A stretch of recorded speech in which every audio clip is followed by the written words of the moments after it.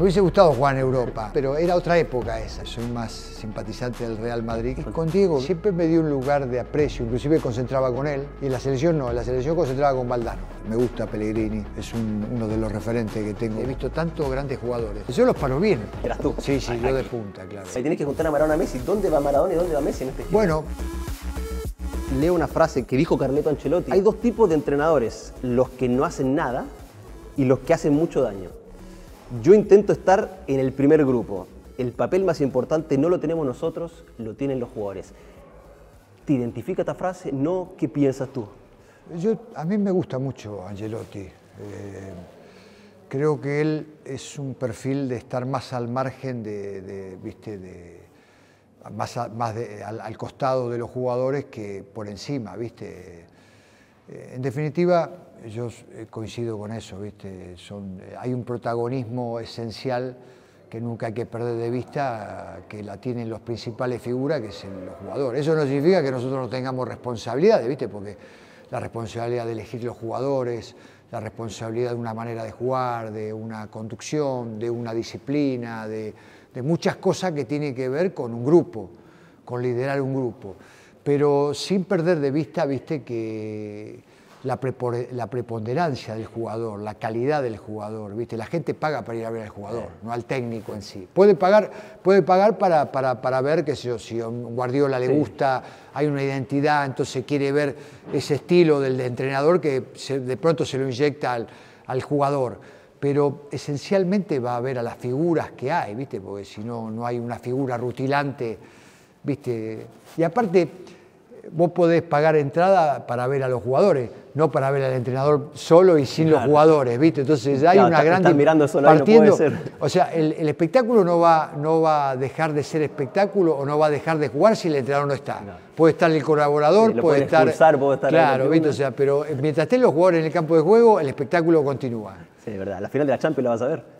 Sí, claro, claro. ¿Tienes algún...? Y siempre, viste, del exterior eh, soy más simpatizante del Real Madrid que... ¿Ah, sí? sí? bueno, siempre. Mientras estaba, cuando estaba Messi con el Barcelona, por ahí ya, viste, eh, uno, tenía una tendencia Sí, como que la Argentina se volcó un poco, ¿no?, al Barcelona, claro, lógicamente. Claro, no estando Messi en el Barcelona ya me inclino más por... Siempre tuve una tendencia más del Real Madrid. ¿Fue el club que te hubiese gustado jugar en Europa? Bueno, viste, me hubiese gustado jugar en Europa. Eh, no, no jugué más por negligencia mía que por otra cosa, ¿viste?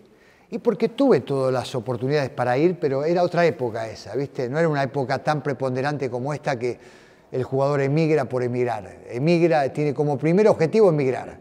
Antes teníamos como primer objetivo que yo triunfar, jugar en, en, el caso mío que yo salí de Boca, jugar en la primera de Boca, ¿viste? Jugar en la primera de Boca, ser tenido en cuenta para la selección. Hoy en día eh, tienen más posibilidades los jugadores que están en el exterior de estar en la selección que los mismos que están en el medio local. Antes era totalmente a la inversa, ¿viste? Tuviste la posibilidad de estar con Diego, que en paz descanse. ¿Cómo lo recuerdas a, Diego?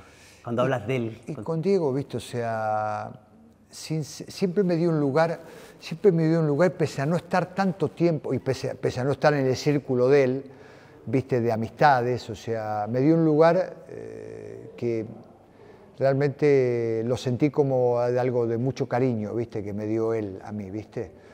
Eh, entonces siempre valoré, siempre valoré eso, ¿viste? Yo tuve en Boca, una parte con él en Boca y una parte con él en la selección argentina. Entonces siempre me dio un lugar de aprecio, inclusive concentraba con él, ¿Ah, eh, en Boca, en la gira con Boca y todo, concentraba con, él. con, él. Y en la selección no, en la selección concentraba con Valdano.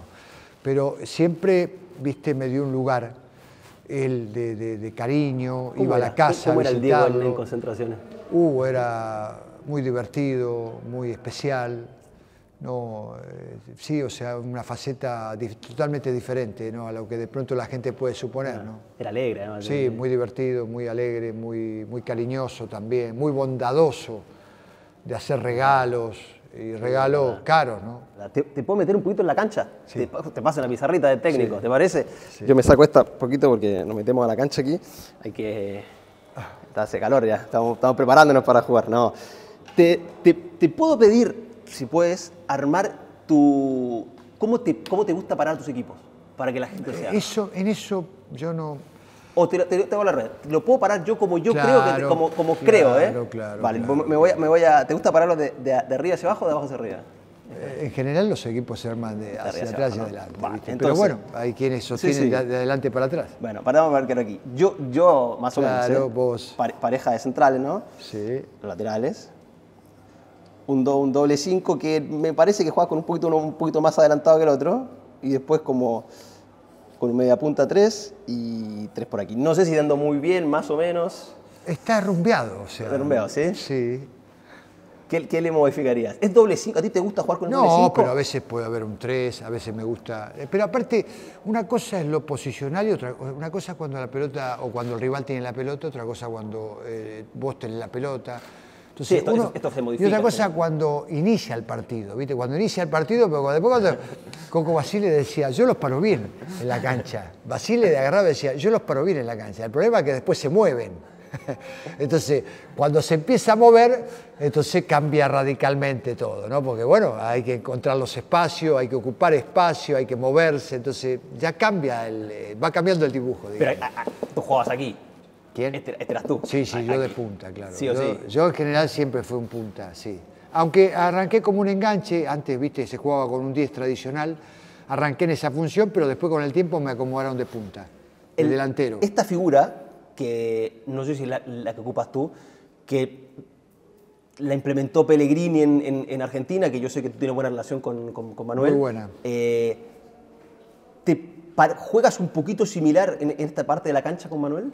Sí, tengo eh, alguna similitud con él. Eh, me gusta, me gusta Pellegrini. Es uno de los referentes que tengo como de lo que me gusta ver. Si tú partes un equipo, yo no sé si alguna vez jugaste videojuegos, no sé si nosotros todos jugamos al FIFA, estos jueguitos, y tenemos que partir a veces el equipo, ¿no? Tenemos que decidir por dónde partir. ¿Hay algún jugador? Yo parto con este. A mí este es el jugador que a mí en la cancha el que me llena la pasión. Cuando me decís partir, ¿qué significa? O sea, si tuviera que, por ejemplo, soy el gerente general de un equipo, el, manager, digo, voy a gente deportivo, perdón, digo, tengo que el dinero para armar un equipo de cero. Aquí parto yo, mi equipo. Eh, ¿El generador de juego? Sí, el 10. El generador de juego. El 10. Y bueno, es algo muy sudamericano también eso, ¿viste? O sea, es lo que es lo que tenemos que tener cuidado que no se vaya a perder, ¿viste? Y no se vaya, no se vaya a, través de la metodología. Es algo que, ¿viste? Nos compete a todos. escuché una vez en ESPN hablando justo de... A, la Comebol también, eh, a todo, a los clubes, a los dirigentes, a todo, a los técnicos. Es algo, ¿viste? Es una raza muy nuestra muy del sudamericano eso, ¿viste? Pelé, Maradona, Di Stefano, Messi, Aguinaga, eh, eh, Valdivia, qué sé yo, ¿viste? Tantos, eh, tantos diez que hubo, ¿viste? Y que Valderrama, entonces que es algo de sudamericano, ¿viste? O sea, algo, algo nuestro. Entonces, que tener esa conciencia de que no se pierda y que es un generador de juego, una usina permanente para el ataque. Tú que has estado siempre en Sudamérica, dirigido en Sudamérica, eh, tanto años de trayectoria, te retiraste hace 30 años del fútbol. Sí. 30 años. En el 94. ¿Te puedo pedir si hacemos el 11 de los jugadores sudamericanos de la historia? Eh, del arquero, del uno, de todo. ¿Cómo harías tu equipo? Uno, uno, uno, va teniendo jugadores o va viendo jugadores que cada vez después vos te, pones a pensar y decís, dejé, dejé este afuera, ¿cómo vas a dejar este afuera? Es verdad. Pero bueno, por ejemplo, de los que de lo que he visto, el Pato Filiol, por ejemplo, eh, en arquero con, el, Loco Gatti, viste, o sea... Filiol o Gatti, es que Claro, bueno. viste, o sea, bueno, han sido... Después lo he tenido eh, a Pumpido de compañero también, viste, que Pumpido otro campeón del mundo, viste, o sea... Eh, como lateral derecho, qué sé yo, no sé, viste, me parece que a mí me gustaba mucho Cafú. Eh, ¿A quién no? Eh, viste, como central, un amigo Ruggeri, creo que de lo mejor, viste, que he visto. Ruggeri Pasarela haría, haría la, dupla, pese a que, bueno, hubo cada, cada central. Del 3 me gusta Tarantini, me gustó. Nosotros le decimos el 4, eso O Roberto Carlos, viste Tarantino Roberto Cal. Bueno, y así te, podría enumerar, que sé yo, he jugado con Maradona, he jugado con Willington Ortiz, he visto a Willington Ortiz, viste, fue compañero conmigo en la América Cali, de lo mejor que he visto yo. Eh, Willington Ortiz, sin embargo, no tuvo tanta relevancia mundial, pero como jugador, un jugador extraordinario, viste, o sea, bueno, he estado con Maradona, bueno, Messi, me gustaría juntarlo a Maradona y a Messi, viste, a los dos. Para, eso me gustó, Manuel. Vamos al once. La última pregunta, si tú tienes este esquema y tienes que juntar a Maradona a Messi, ¿dónde va Maradona y dónde va Messi en este esquema? Bueno, no sé, o sea, yo ahí, bueno, no sé. Iría por afuera, eh, por derecha Messi, Maradona de enganche. sea, Maradona aquí, Messi como aquí. comenzó en el Barcelona Messi, por derecha Messi, Maradona. eh, y bueno, Y, o y Ricardo aquí, haciendo, haciendo los goles. No, no, yo no. O sea, pondría a Batituta ahí, ¿viste? O sea, eh, pondría, qué sé yo, no sé, ¿viste? A Ronaldo, al fenómeno, ¿viste? O sea, pero te olvidas de tanto porque un ídolo mío fue Kempe, ¿viste? Por ejemplo, de chico. Y también campeón del mundo, de 78. Entonces, hacer un equipo, ¿viste? De eso es tan difícil para mí porque, ¿viste? He visto tantos grandes jugadores de fútbol que, ¿viste?